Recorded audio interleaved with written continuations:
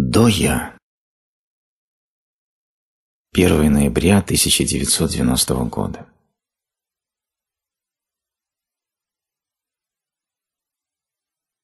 Позвольте задать один вопрос.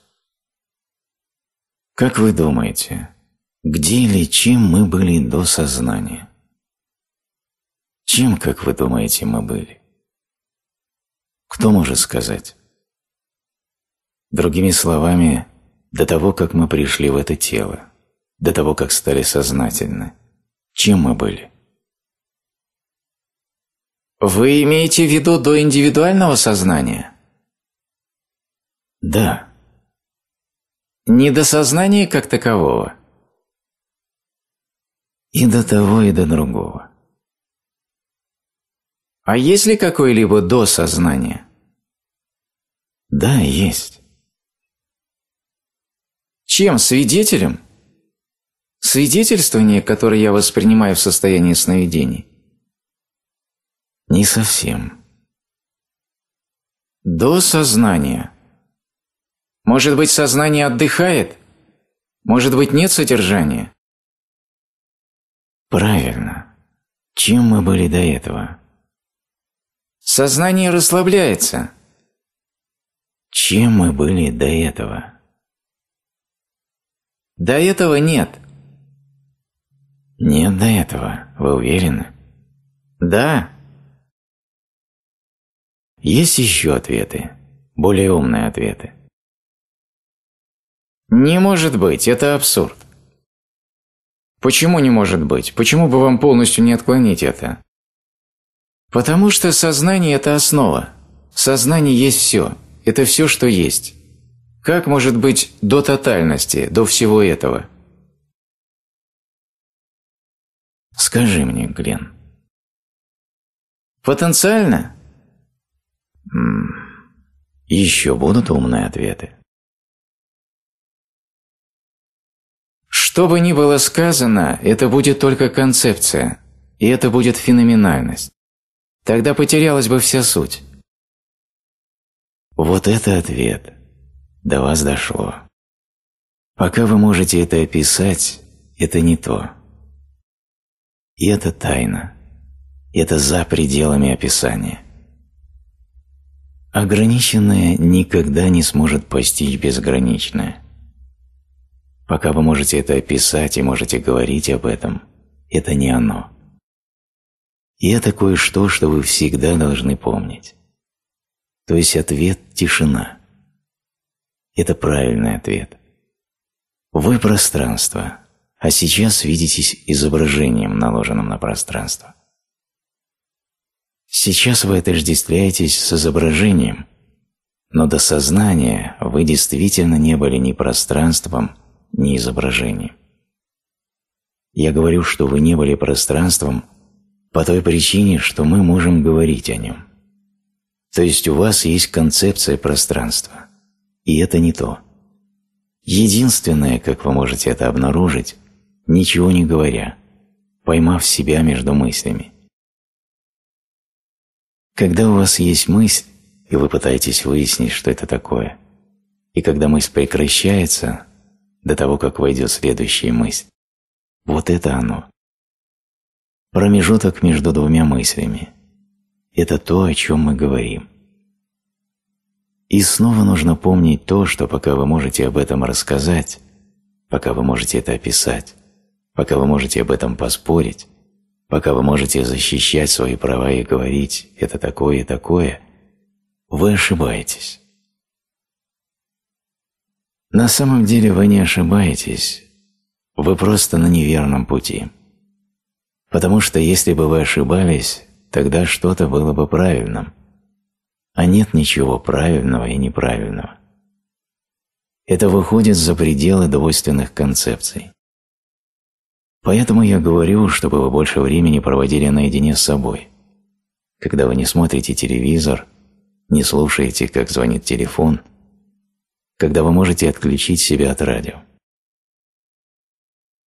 Просто сидите и будьте собой. Тогда вы испытываете чистое бытие.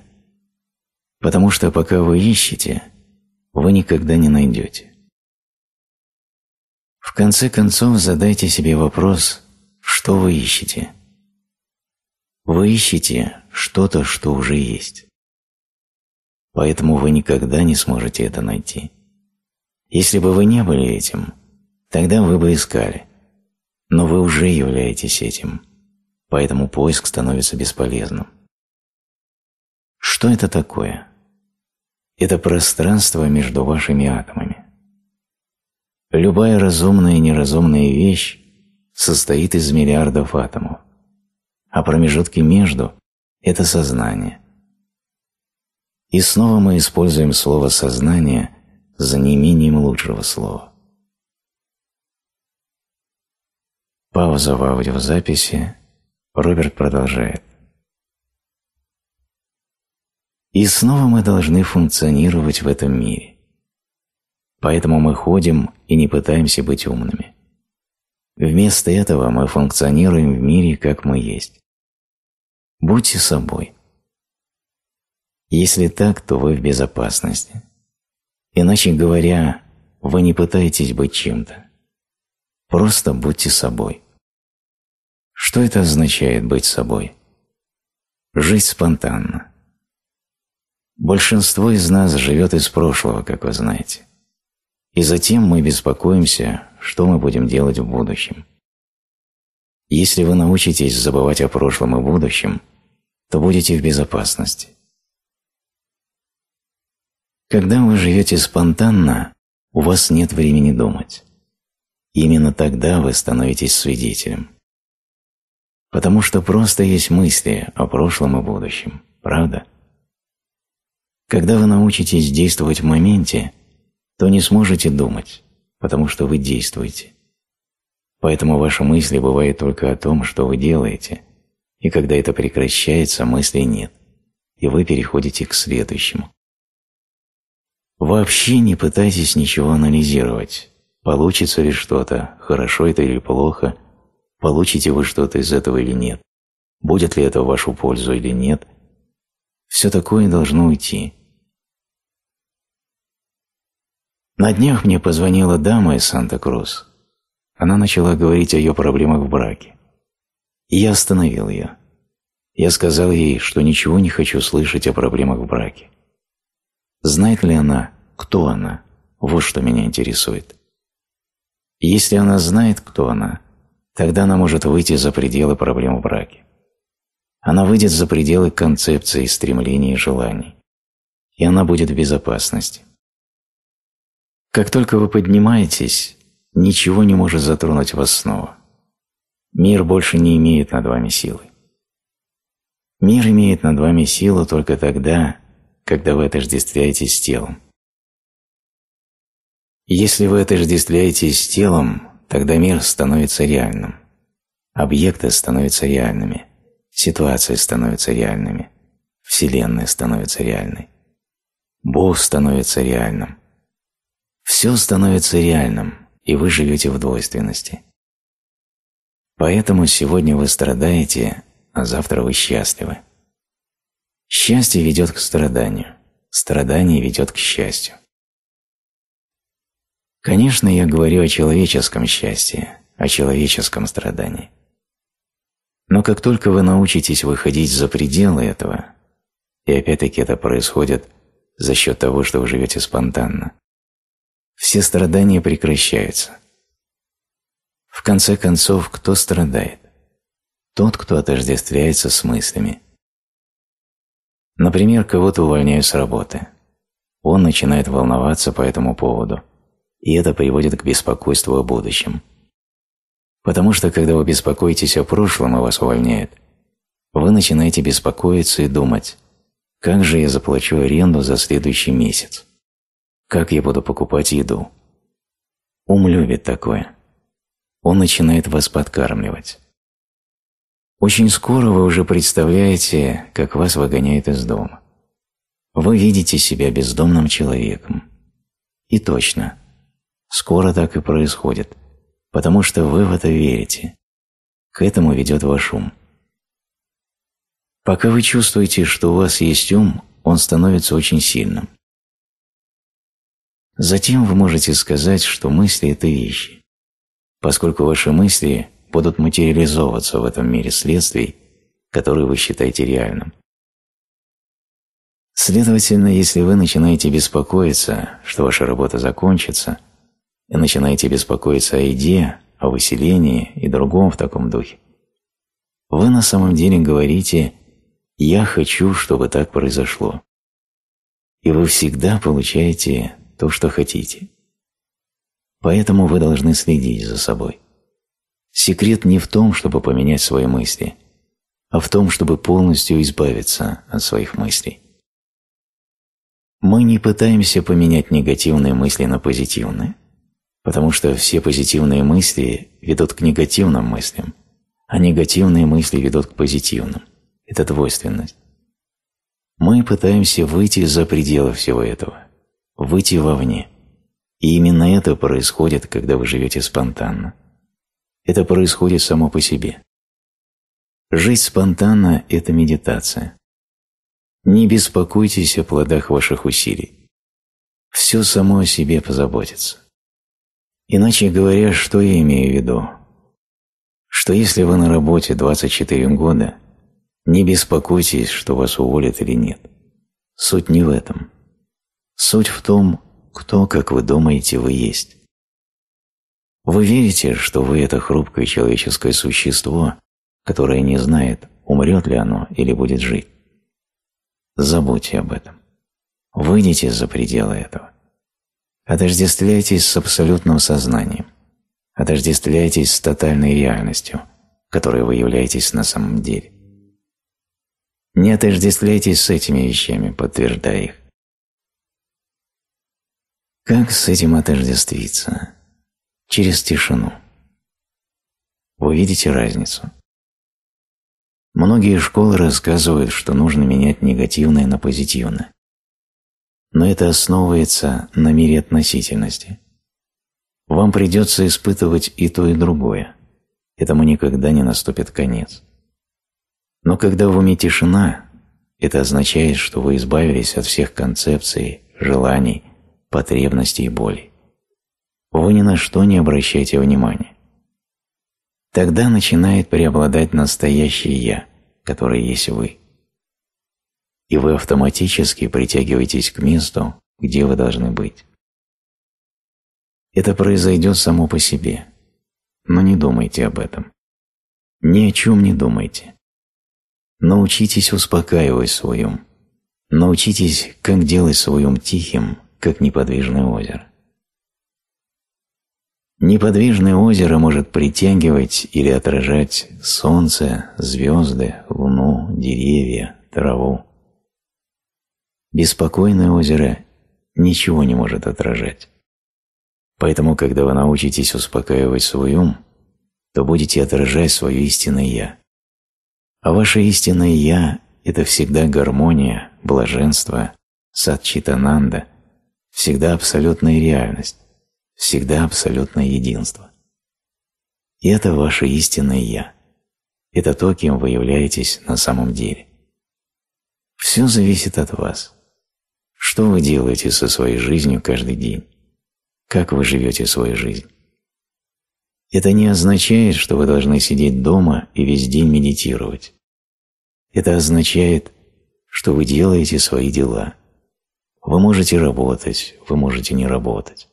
Вы можете ходить в кино, вы можете смотреть телевизор, вы можете делать все, что вам нравится, но никогда не отождествляйтесь с объектом. Никогда не отождествляйтесь с тем, что делает тело.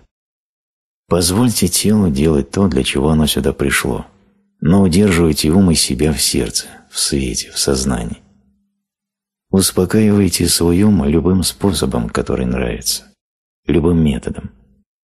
Становитесь свидетелем своих мыслей. Используйте атмавичару, самоисследование. Любой метод, который можете использовать. Делайте его. Делайте его целый день. Вот в чем секрет. Не только тогда, когда вы приходите сюда, не только один час в день, а в течение всего дня. Как вам с этим справиться, если вы ходите на работу и там вас увольняют? Вместо того, чтобы волноваться, задайте себе вопрос. С кем это происходит? Кто проходит через это? Я. Держитесь за «я» со всей своей силы. Отслеживайте «я» до его источника. Смотрите на «я» нить, которая, как кажется, идет от источника, к тому, о чем вы думаете.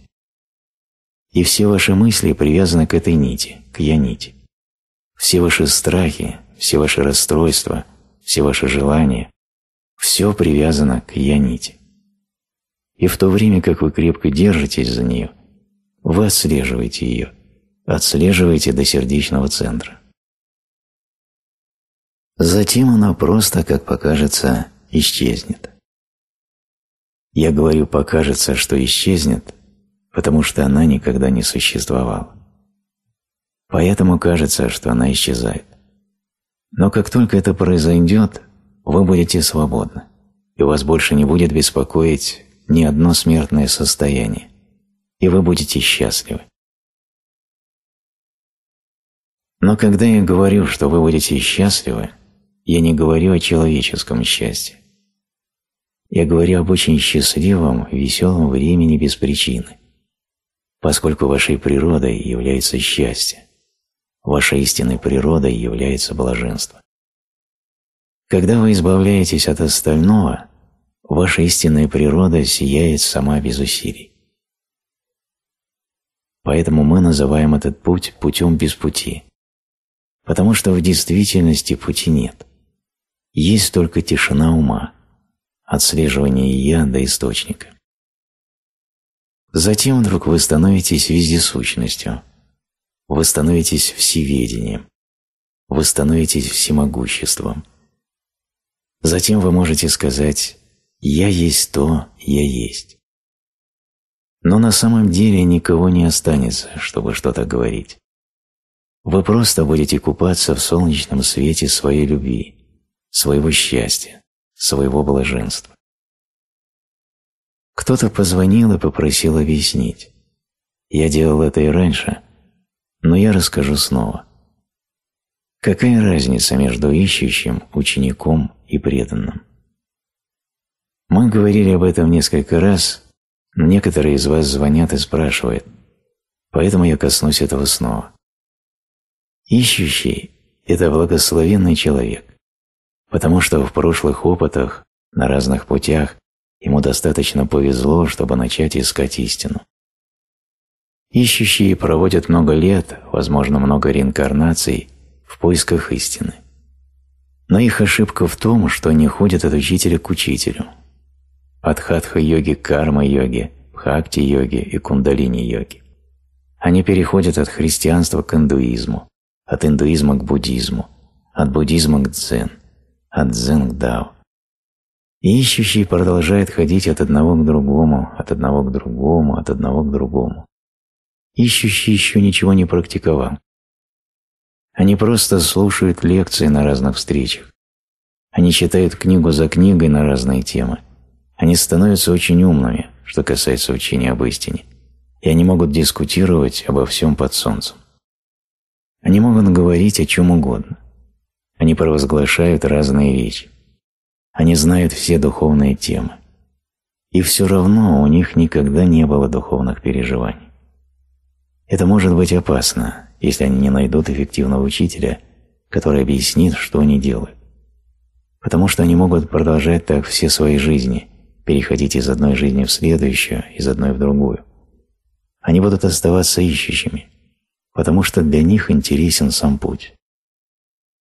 Вы знаете, как это? Это все равно, что король пригласил вас разделить с вами его королевство. Он живет на двухсот акрах земли. Земля очень красивая. Вы подъезжаете к воротам, вы уже по дороге к дому короля, но тут вы видите красивые цветы, и вы очарованы. Вы забываете о короле, бросаетесь в сельское хозяйство и начинаете выращивать новые цветы и увлекаетесь выращиванием цветов. Но затем вы вспоминаете о короле и едете к нему. И в этот раз вы видите красивые пещерные горные образования, вас это очаровывает. Вы снова останавливаетесь, увлекаетесь горными образованиями и пещерами. Вы забываете о короле. Проходят годы. вы снова вспоминаете о короле. Вы едете вперед, и в этот раз вы видите девушек, танцующих в полях, среди цветов в подлеске. Вас это очаровывает, и вы проводите годы в этой теме. И так далее. Вы никогда не попадете к королю. Если бы вы попали к королю, то разделили бы королевство. Вот чем занимается ищущий. Ищущий очаровывается разными учениями, покупает все книги о каком-то учении, становится хорошо начитанным, но никогда не имеет духовных переживаний. Теперь мы переходим к ученикам. Ученик – это ищущий, которого затронуло учение. Ученик открывает дзен и просто влюбляется в это. Но вместо того, чтобы оставаться с одним учителем, ученик ходит от одного дзен-учителя к другому. Не так, как ищущий, который переходит от одного учения к другому.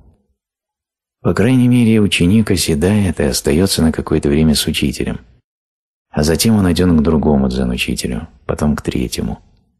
И так они продолжают из реинкарнации в реинкарнацию. Преданный – это совершенно другое.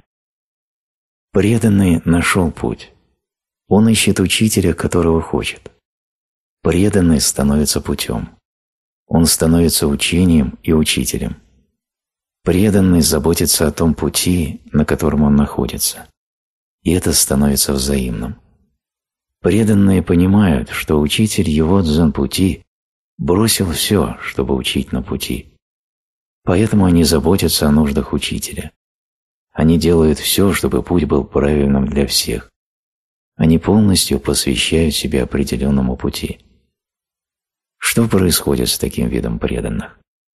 Очень скоро они сливаются с сознанием учителя. Они становятся одним. Они становятся реализованными. И это основная разница между ищущим, учеником и преданным.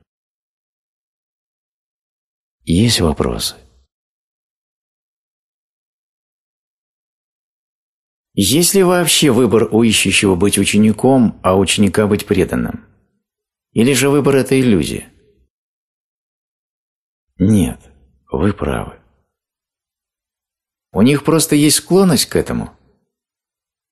Да, вы делаете то, что вы пришли сюда делать. Единственный выбор, который у вас есть в жизни – это не отождествляться с телом. Когда вы не отождествляетесь с телом, вас действительно притянет туда, где вы должны быть. И все случится. Но вы правы, у вас нет выбора. Нет меня. Точно. Поэтому я говорю, что те из вас, кто приходит сюда, это не выбор, это не случайность. Вы здесь, потому что вы здесь должны быть, так есть. И я здесь, потому что должен здесь быть. Я никогда не делал выбор быть учителем. Я никогда не выбирал быть чем-либо. Но я здесь, и вы здесь. Так что нам теперь с этим делать? Зачем жаловаться? Если выбора нет, то тогда невозможно сделать выбор отождествляться или нет с телом. И это единственная свобода, которая у вас есть. У нас есть эта свобода? У нас есть эта свобода. Но это запланировано и вне выбора. И это единственный выбор. У меня сложилось такое впечатление, что выбора нет вообще и точка. Нет выбора вообще и точка.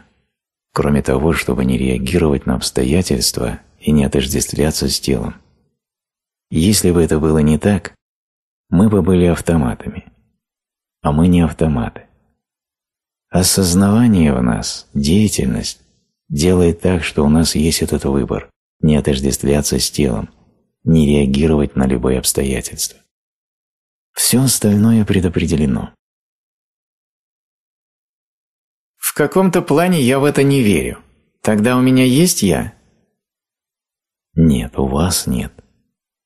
Или я думаю, что у меня есть я? Пока вы верите, что у вас есть «я», у вас есть выбор. В действительности у вас нет «я». Но если бы вы говорили из реальности, то вопрос был бы лишним. Не было бы нужды в вопросе. Я не совсем это понимаю. Пока вы считаете, что у вас есть «я», у вас есть выбор. Выбор, буду ли я ищущим учеником или преданным? Нет. Выбор отождествляться с телом или нет. И это я понимаю, это я четко понимаю. И это единственный выбор, который у вас есть. Но все равно я в это не верю. У вас есть выбор, потому что вы – это я. Вы верите, что вы – это я. Когда вы не верите, что вы – это я, и вы не есть я, тогда выбора нет. Вот и все. Да. Никто не говорит о выборе. Так вопрос в том, как сильно я думаю, что я – это я, и не верю, что все предопределено. Другими словами, кажется, я думаю или чувствую, что у меня есть выбор, кем я хочу быть – учеником или преданным, или куда я пойду или не пойду. Так кажется, но снова вы говорите с точки зрения эго. Правильно, и это «я» препятствует пониманию, правда ли это или нет, то, что вы говорите. Если бы вы не были «я», не было бы никого, чтобы задавать этот вопрос. Этот вопрос не появился бы. Но пока вы – это «я», вы размышляете, есть ли у вас выбор или нет. Просто размышление об этом показывает, что вы есть «я». Вы понимаете? Да. То есть это адресовано «я». Я думаю, что Рамиш учит тому, что все, что нам нужно, это верить, что мы не есть «я», а учение сами выполнит свою работу. Хотя очевидно, что они все равно чувствуют себя как «я». Иначе говоря, он избегает практики и говорит, что практика не является необходимой. Но я думаю, что это становится чем-то вроде концептуальной адвайты, потому что он говорит, что практика не является необходимой, что нужно просто слушать учение, а практики нет. Я не думаю, что в этой точке зрения есть много просветления. Другими словами, он говорит «верь, что ты Кришна, и отрицай, что ты Арджуна». Хотя в ежедневной жизни ты все равно Арджуна. В этом в определенной мере есть суть. Это как лезвие бритвы. Я не люблю так говорить по той причине, что новичкам это дает право делать то, что им хочется, становиться высокомерными, агрессивными – они заявляют «Я – тотальное осознание, нет никакой разницы, что я делаю. Я могу убивать животных, я могу делать что угодно, ничего не имеет значения». Я видел много людей, новичков, с таким отношением, поэтому вы должны быть осторожны. Поэтому Рамана Махарши был таким мудрым. Он учил, что есть два пути. Один – это бхакта, самопредание, а второй – это атмавичара. И они оба правильны. Если у человека есть тамасические наклонности, Рамеш говорит, что если у вас есть такие наклонности, хотите быть высокомерным, то для вас нет разницы, слушаете ли вы такие учения или нет, вы будете высокомерным. Нет никакого выбора. Эти наклонности все равно поведут вас в этом направлении. Это правда. Секрет в том, чтобы не отождествляться со склонностями тела, а отождествляться с истинным «я». И это сделает свое дело. Но отождествляться с истинным «я» иногда не самая легкая вещь. Поэтому вы должны что-то практиковать, какие-то медитации, предание себя Богу и в таком духе. Это сделает вас смиренными, это даст вам скромность. И это автоматически приведет к атмавичаре, самоисследованию. Затем все произойдет само по себе. Вы должны быть очень аккуратны, особенно будучи западными людьми. Не верить в то, что я есть сознание, я есть Бог, я есть окончательное единство. Мы понимаем, что это конечная истина о нас. Но затем вы наблюдаете за собой, за своими действиями. Вы смотрите, какой вы на самом деле. Не используйте истину, чтобы оправдывать свои действия. Например, если бы вы были наркоманом, правда, что если бы вы ходили на сатсанг, если бы вы познали реальность, то вы бы перестали использовать наркотики. Но между тем вы делаете все, что можете, физически, ментально, чтобы остановить привычку. Это все равно предопределено, но вы делаете все, что можете. И по мере того, как вы следуете учению, все само складывается. Что вы об этом думаете? Может ли это привести к неврозу? Вы стараетесь делать все, что можете, чтобы что-то сделать, и это предопределено, что это произойдет. Поэтому вы продолжаете пытаться и стараться, и это... Единственный невроз, который у вас есть, это то, что вы верите, что вы тело. И это невроз. Когда вы уберете ум из тела, вы будете знать, что делать, чтобы избавиться от привычки к наркотикам. А если это не предопределено, что вы поборете наркотическую привычку? Тогда это не произойдет. Но если вы осознаете свой выбор не отождествляться с привычкой к наркотикам, не отождествляться с телом, не реагировать на него, само чувство сделает так, что произойдет что-то положительное. Как возможность не принимать наркотики в своей жизни. Точно. Я о том, что тема предопределенности – это не какой-то установленный набор. Иногда я ненавижу использовать эти слова – Потому что вы можете сказать «это предопределено, тогда, наверное, я должен продолжать принимать героин». И вы продолжаете до конца жизни принимать героин. Мы говорим «это предопределено, что же мне сделать? Лучше я получу от этого удовольствие». Поэтому вы должны быть осторожными. Это предопределено в той мере, что вы отождествляетесь с ситуацией. И это предопределено. Но как только вы начинаете отождествляться с истинным «я», с тотальным осознаванием, все начинает изменяться. Изменения придут. Они должны прийти. Да, это совершенно понятно. Это произойдет тогда, когда предписано произойти. Да. Нет тебя, который может заставить это произойти. Точно. Все предопределено, все предначертано. Это достаточно ясно?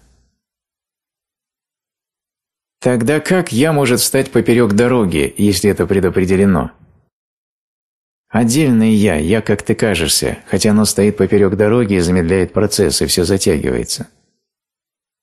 Это видимость. И это видимость. Но на самом деле это не так, все идет именно так, как оно должно идти. Да. Точно. Но не отождествляйтесь с этим. Отождествляйтесь с истинным «Я». И все само о себе позаботится. Затем у вас не будет времени думать, что медленно или что быстро. Понимаю.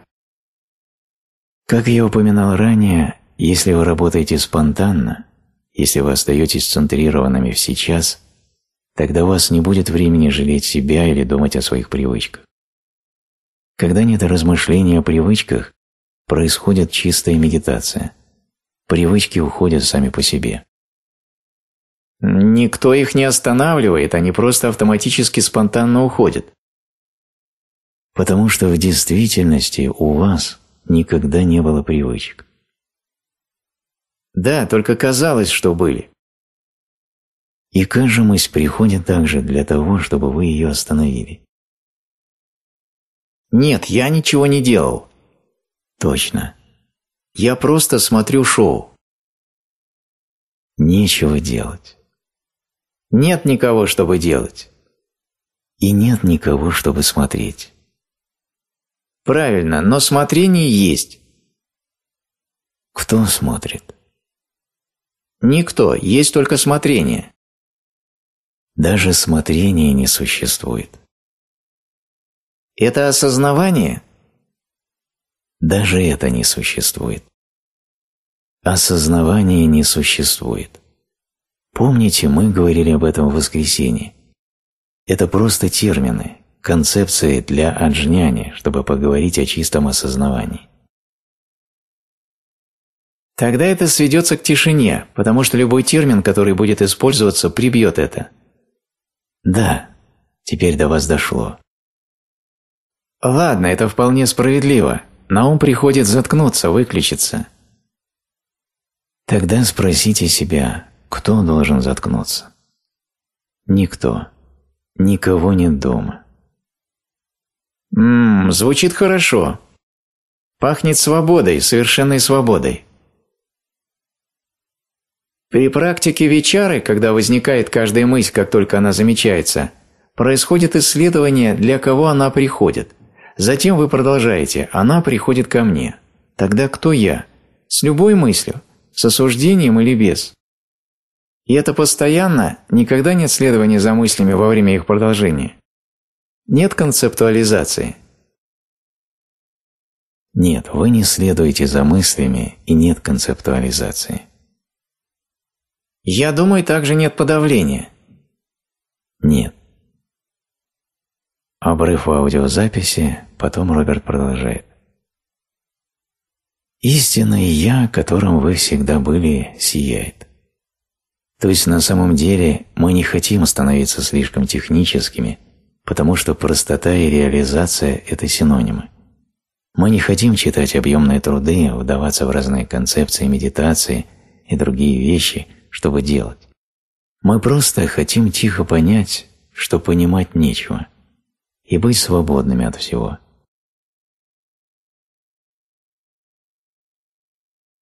Когда я был в Сан-Франциско, то посетил Алькатрас. Бывшая тюрьма, ныне музей на скалистом острове того же названия. Там были эти камеры 8 на 12. В некоторых были двери, которые закрывались, потому что это были камеры изоляции. И там есть эти вещи, которые носили. Они рассказывают о том, как заключенные проводили 20 или 22 часа в своей камере, а все остальное время они делали упражнения я почувствовал, как чудесно. Ничего не иметь, просто иметь возможность сидеть и получать еду. А Кериму потрясло, что у меня было такое отношение. Вы знаете, вы правы. Потому что многие монахи живут в пещерах, в монастыре, они делают выбор годами жить в маленькой клетке. Так часто бывает. Тогда мы отправимся в тюрьму. Но, конечно, там есть другие, возможно, плохие моменты. Но вы должны пойти в жесткую тюрьму, чтобы вам достались такие особенные камеры. Оно того стоит? Для чего они используют Алькатрас сейчас? Для привлечения туристов. Они просто водят туристов в тюрьму и зарабатывают на этом деньги. Теперь это национальный парк. Я думаю, мы должны его захватить. В 70-х индейцы его захватили. Теперь время, чтобы его захватили джняне. Получить свой кусок скалы. «Роберт, захватите одну скалу, и мы все придем и присоединимся к вам». С пулеметами. Я заметил разницу. Два года назад, когда я бегал на учение Нисаргадаты, я только начинал сталкиваться с пустотой внутри. Теперь, находясь с вами месяц или около того, я очень явно чувствую «я», расположенное в этой области. Это как бы больно и блаженно и любовь в одно и то же время. Но оно, несомненно, здесь, пустоты больше нет. У меня такое чувство, что это имеет отношение к природе учений и стилю учений. Вы больше по практикам и сосредоточении на «я». Но не Саргадата говорит с абсолютной точки зрения. «я» нет, есть только пустота. У меня такое чувство, что это произошел сдвиг в фокусе моего осознавания, потому что я нахожусь с вами. Определенные люди притягивают определенных учителей. Вот и все. Такое впечатление, что есть разница между концептуальной практикой и практикой. Мне кажется, что многие люди, которых я видел на учениях Рамыша, также занимались концептуальными вещами. Я думаю, что отсюда исходит та же опасность. Может быть, не такая, как право делать что угодно. Но эти люди думают, что они чего-то достигли. Они думают, что не достигли чего-то основательного, основательной реализации. Тогда, когда они только концептуально понимают, какое переживание у них должно быть. То есть они принимают действительно большое концептуальное понимание за само переживание, и, возможно, они заблуждаются. Кто знает? Я не сравниваю учителей. Я даже не знаю, что я делаю. У меня нет учения. Я просто здесь. Ничего не запланировано. Какой метод я буду использовать? Никакого формата? Никакого формата. Это даже не учение. Это ничто, пустота. Вы можете называть это так, как вам нравится. Вы способны этим делиться? С кем? Со мной. Но вы не существуете. Ну, теоретически говоря, мы те, кто пришли, в кавычках, посидеть у ваших ног. От вас зависит, вберете ли вы это. Я просто здесь. Но это полностью зависит от правильности учителя. И это правильно, потому что для меня здесь нет никого, с кем делиться. Потому что я вижу вас как себя. Есть только одно. Мы все видимся именно так, все, везде. Все одно и то же. Не только все те, кого вы видите. Еще раз, это как зеркало и его отражение. Я отождествляюсь с зеркалом, но я также вижу и отражение. Но я понимаю, что отражение – это зеркало. Зеркало, сбивая с толку себя. Зеркало создает свои изображения, отражения. Зеркало создает свои ошибочные концепции, ложные изображения. Но на самом деле они не существуют. Если они иллюзорны, то они не существуют на самом деле. Они не существуют. Странно, что зеркало это делает. Оно что, никогда не устает от этой ерунды? Это не совсем так, что зеркало это делает. Кажется, что оно это делает. Тогда что это делает? Ничто. Это делает ничто? Нет никакого делания. Это просто возникает? Ничего не делается. Это просто плоскость, которая не возникает. Не возникает. Поэтому все так умиротворенно, когда ума нет. Поэтому, когда ваш ум тих, вы обнаруживаете блаженство. Я не понимаю, почему это чувствует я в своей груди, хотя вы говорили о ничто. Такое бывает.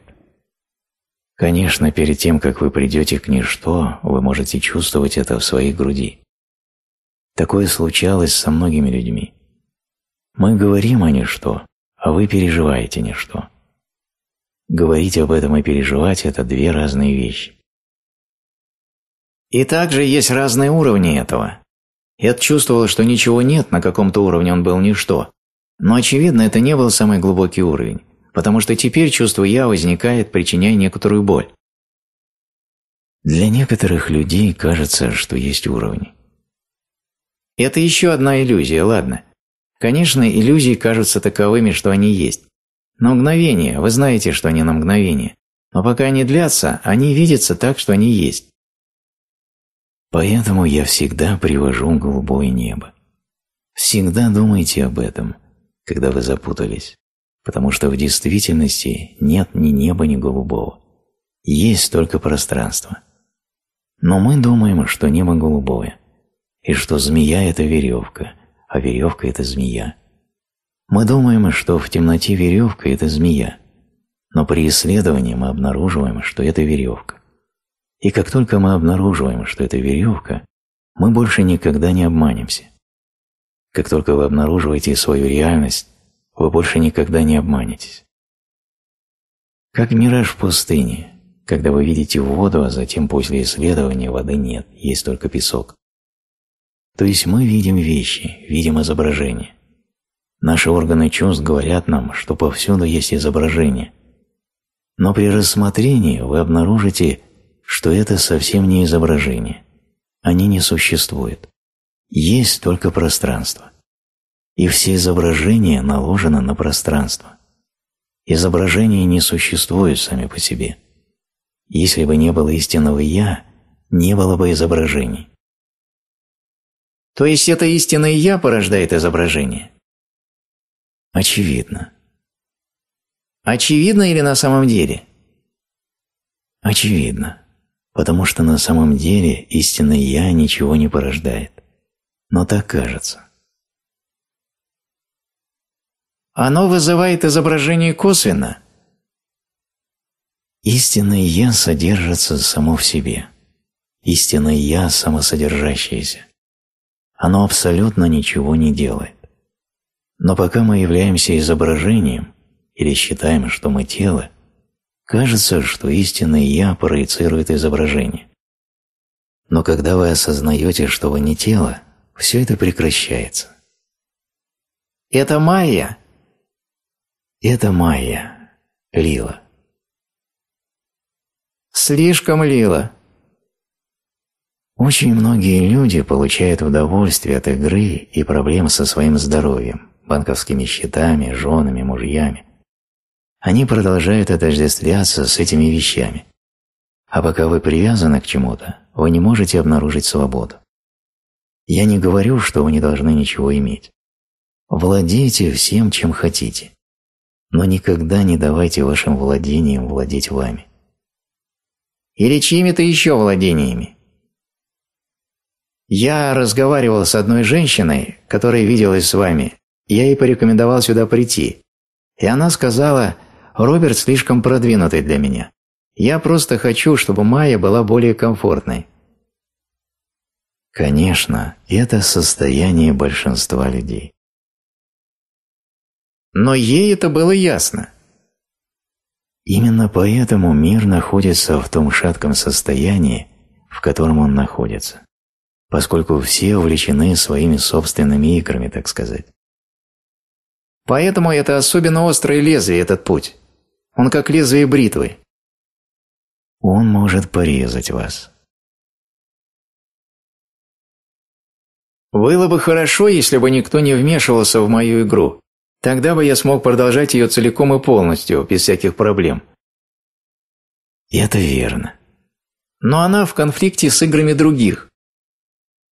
Точно. В этом вся ирония. Есть ли кто-нибудь, кто может и иметь свой пирог, и есть его? Мы все стараемся. Пока вы называете это пирогом, это так, словно есть что-то для вас. Что за пирог?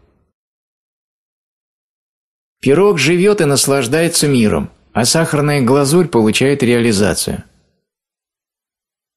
Когда вы осознаете истину, практически невозможно наслаждаться миром. Ну да, я так и думаю. Потому что мир все время меняется. То есть на самом деле нет способа, чтобы иметь пирог и съесть сахарную глазурь, верно? И снова, мир – это не пирог. Я думаю, что в этой комнате есть только один человек, кто может это сделать. Кто это? Сэм. Что? Он ел много пирогов. И это был не пирог.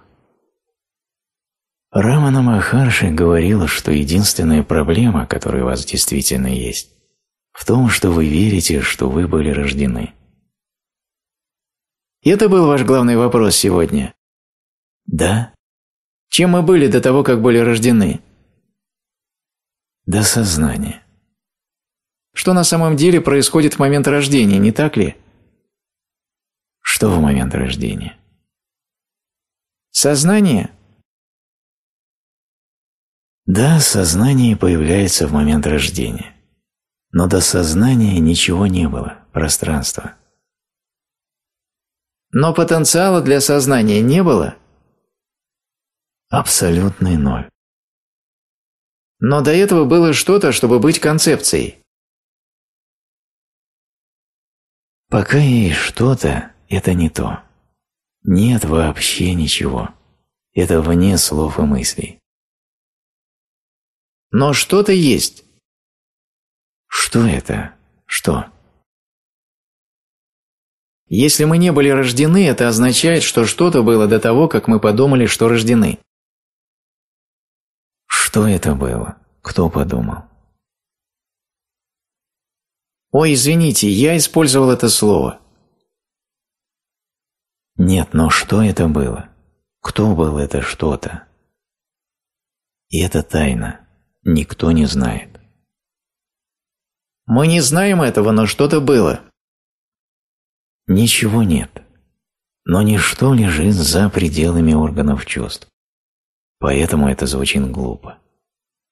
Когда ваш ум тихо и умиротворен, вы сидите в тишине, тогда вы становитесь тем, о чем вы говорите. И это не что иное, как ваше истинное «Я». Не пытайтесь объяснить истинное «Я». Как только вы пытаетесь его объяснить, это не то. Именно это я имею в виду, когда говорю «просто будьте истинным Я», будьте собой, и вы будете в безопасности. Не будьте этим и тем, будьте собой. Не будьте женщиной, не будьте мужчиной, ничем не будьте. Просто будьте истинным Я. Тогда истинное «я» – это просто слово, которое указывает на то, что вне слов, неописуемо и не может быть объясненным. Да. Это как указывающий палец. Как стрела, палец, указывающий на Луну.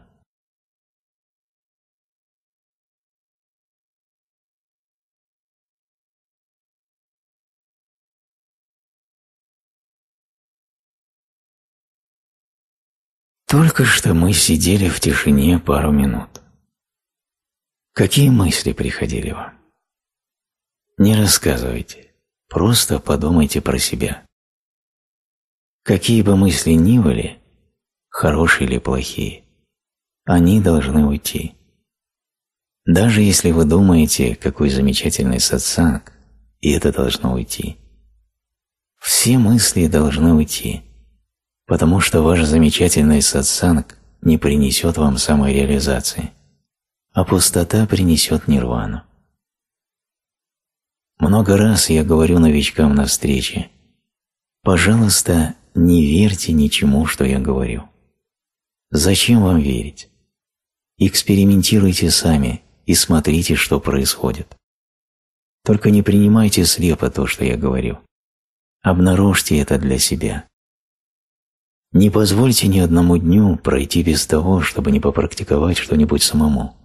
Задай себе вопрос, быть свидетелем, использовать мантру «Кто я?». «Кто я» – это не мантра, помните это. Это метод, которому мы учим. Если вы хотите мантру, со своим дыханием «Кто я на вдохе?» «Я есть брахман между вдохом и выдохом», и «Я не есть тело на выдохе». Если вы будете это практиковать, то это займет вас и оставит без размышлений. И это единственная цель. Чтобы сделать вас однонаправленным, чтобы вы могли перестать так много думать. Потому что многие люди приходят и говорят, «Прямой путь очень трудный для меня, потому что я не могу перестать думать.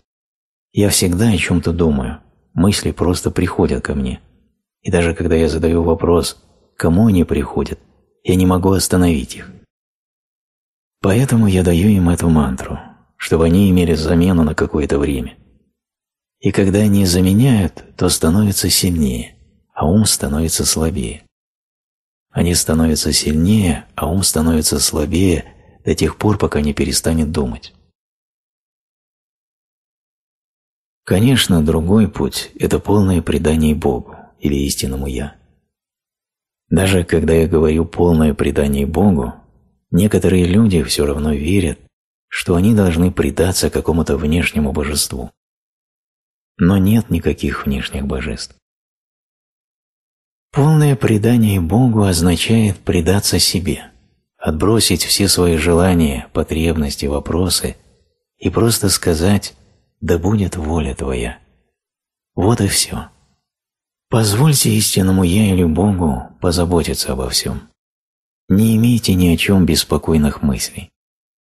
И если вы действительно полностью сдадитесь Богу, то будете в порядке. О вас позаботятся. Какой бы метод вы ни использовали, он будет вести вас только вверх.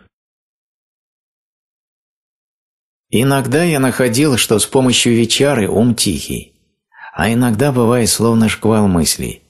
Это как стендовая стрельба, словно мне нужен пулемет для каждой мысли, которые приходят. Да. А еще иногда я нахожу, что там, где я думал, я был тих, ни с того ни с сего появляется движение мыслей. Это не слова, но это «упс» и есть одна огромная рыба под океаном. Да, сначала наблюдайте за ней, не действуйте. Затем задайте вопрос, кому она приходит. Делайте и то, и другое. Наблюдайте и задавайте вопрос. Это на самом деле забавная игра. Да, это так. Хорошо, это сознание. Это как сказать «вот идет ничто». Ничто – это то, что вы есть. Вы хороши для ничто. Разве вы не счастливы, что я вам это сказал? О, я в это не верю. Вы хороши для ничто. Ничто есть все. Ладно, я приму это.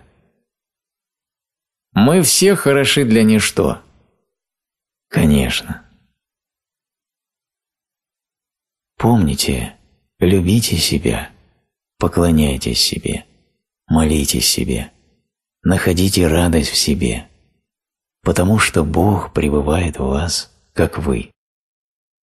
Покой. Спасибо, что пришли. Я всех вас люблю. Всего хорошего.